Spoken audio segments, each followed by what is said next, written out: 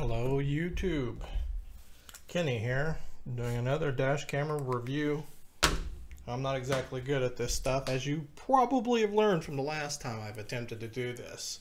And I'm going to be real honest with you. I've been attempting to do this for, well, seven attempts so far, and it's been a fail. And that's just to get the box open. I mean, how hard is it to talk into a camera and a microphone and open a box? But apparently, when you don't know and don't do uh, public speaking very well, it uh, it gets to be a little annoying. Um, it's like four o'clock in the morning here where I'm at at this time, and I've taken a vacation. And one of the things I've wanted to do on this vacation is do a YouTube video about a dash camera that I've had in my closet for about a month now. And uh, I just want to say hello and thank you to BlackVue who provided the camera.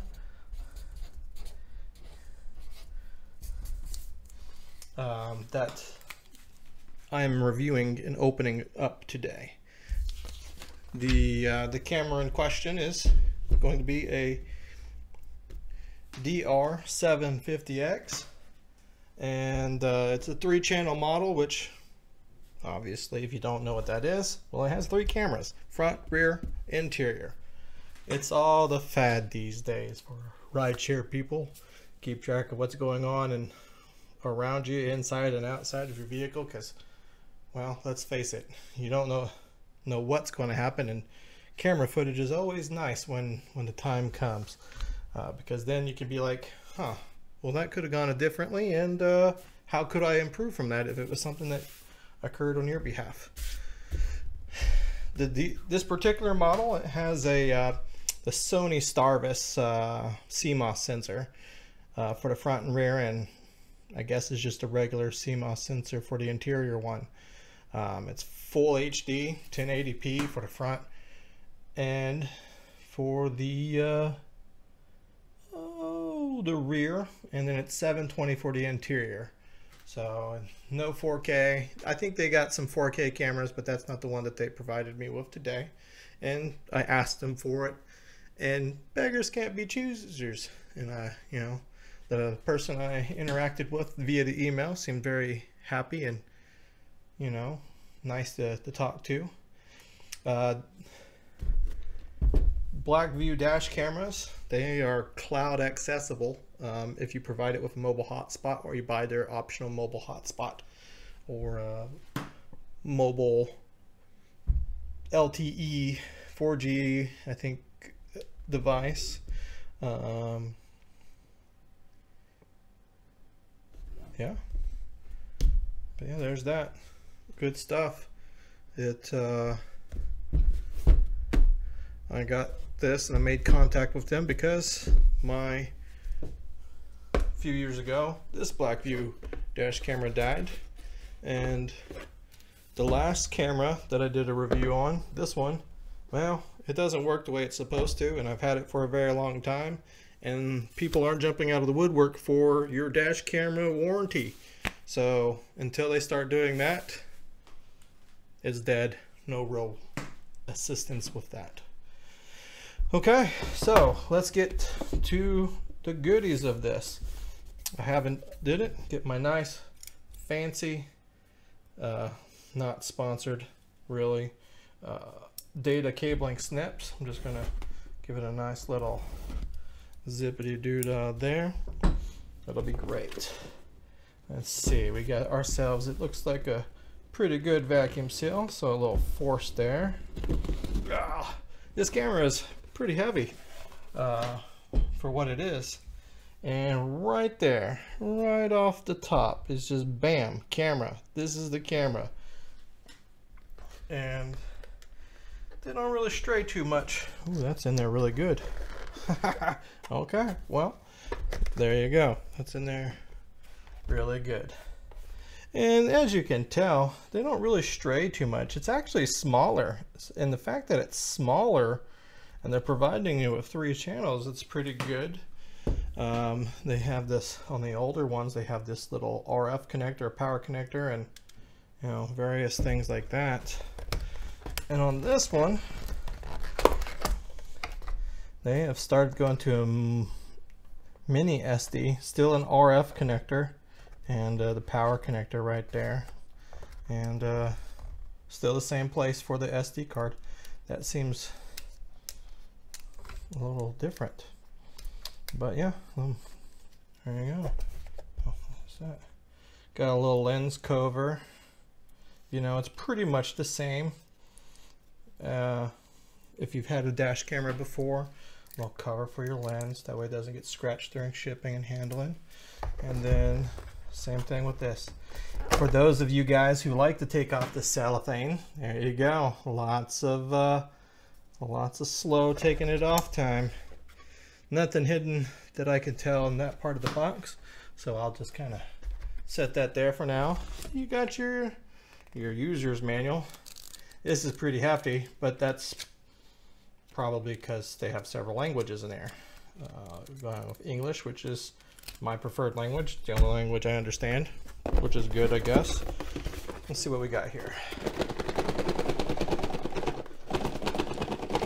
Ah, it does not come out very easily. Well, that's good. I guess if shipping and handling stuff occurs, you having struggles with of uh, I don't know tries to fall off the back of a truck, you're you're you're covered. So you got a that's a pretty hefty duty little power cord there. And that's a lot thicker than any of the other ones that I've uh, installed and done anything with. It's pretty interesting. But it has a little barrel type connector in there. Set that there we have, this is one of the micro SD cables. This is a small one. Micro SD with a 90 degree connector right there. Then this little bad boy, I don't know what this is, but that appears to be micro SD as well. And, oh, it has a lock. What? What's all that all about? I think that might be the GPS unit and probably a little hub of some sort. Uh, USB type hub. There's a lock. Look at all this. You got a little pry bar. All the various goodies. Little adapter plug in your computer. Pry bar for any plastic paneling. This model came with a 64 gig. It's a BlackVue branded. Pretty decent. Uh, I usually get the maximum size of BlackVue, well not necessarily BlackVue, but SD cards sizes that uh, that way I can get the maximum benefit out of it. So you got like three of the rear or the other small camera stickies, one for the main camera. You got some cable management stickies right here a lot of cable management stickies right there. Looks like uh, it's a little Allen wrench you just kind of do that with. But yeah, this looks like uh, just looks like a little USB hub. So you plug that into your camera, put that somewhere nice and safe, and then plug your other two cameras in there, which is nice and fine and great. All right, there you go. Now that's your RF camera. Um, well, I wonder what that's for. Because that says, oh, it's for the rear camera. So that goes all the way to the back of your vehicle. They have a hard wiring side of this, which I did not know that they were going to put in here, or that there is, but you pretty much can hardwire this and plug it directly into a fuse box, or that way you don't have to use the cigarette lighter. Well, that's very nice. All these cables are pretty good decent thickness and uh, they appear to want to make sure that withstands the heat and temperatures of everything that you got going on here. The inside camera, I'll pull that back out of here, has two infrareds, which is good because, you know, what's the point of having a, uh, a camera inside if you can't see if you're driving around at night? and a lot of people drive around at night and that's you know that's very important the other camera it just has that RF connector in there and if you can hear my cat is in the back wanting to join the party. Um, so there you go. All that's good beautiful. Uh, the next time I uh, you'll see me is probably when I'm installing this inside the vehicle. And uh, hopefully I'll do a better job this time because I failed. And uh, I failed big time. I didn't realize that I was not recording. And uh, I just want to say thank you for watching my video.